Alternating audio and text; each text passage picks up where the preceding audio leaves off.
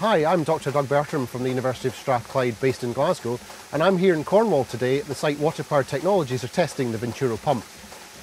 We've been working with Water Powered Technologies for the last year in the testing and development phase where they bring the Venturo you can see behind me to operation and to testing. And it's been a hugely successful project so far where we've been able to demonstrate that for zero energy input in terms of electrical grid connection or the use of petrol or diesel, this pump is able to provide a good supply of water to needs such as agriculture or power generation.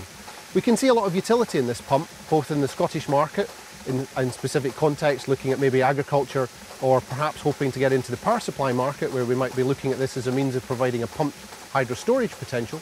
But we can also see a wider market in the international market, looking at countries such as uh, Uganda, Kenya, partners in Malawi, and even further afield abroad, countries like Colombia or in the Far East.